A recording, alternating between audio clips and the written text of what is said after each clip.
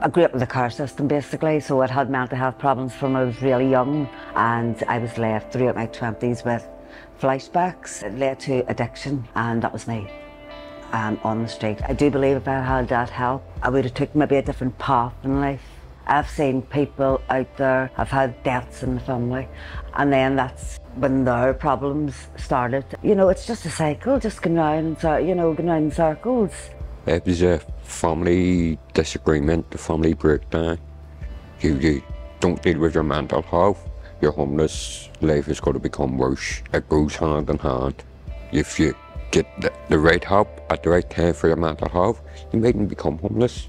You might be able to work on your problems and maybe resolve your issues with your family and stuff. It, sometimes you can't even get a GP being homeless because you don't have that fixed address.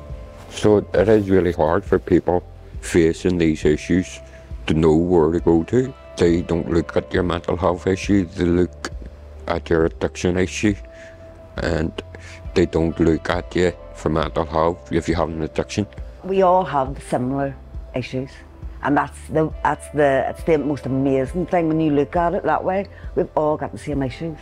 I did get involved with Depaul and there was one girl there called Alicia and I could tell by looking at her she felt my pain. I'd never met anybody like that before.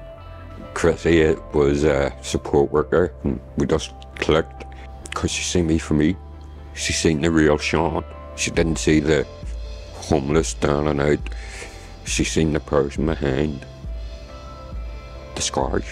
And I'm still getting that support from Depaul. So I'm just taking each day as it comes. You know, people think that once you're in recovery, that's it. You know, it doesn't work like that.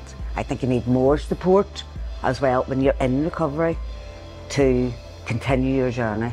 It's okay to be not okay, to pick up a phone and reach out to your closest and dearest, even though you mightn't want to, but it always helps to talk.